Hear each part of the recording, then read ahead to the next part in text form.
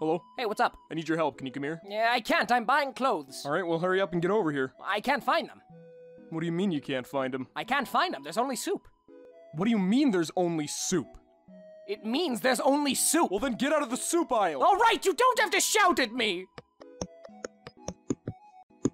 There's more soup. What do you mean there's more soup? There's just more soup. Go into the next aisle. There's still soup. Where are you right now? I'm at soup. What do you mean you're at soup? I mean, I'm at soup. What store are you in? I'm at the soup store. Why are you buying clothes at the soup store? Fuck you.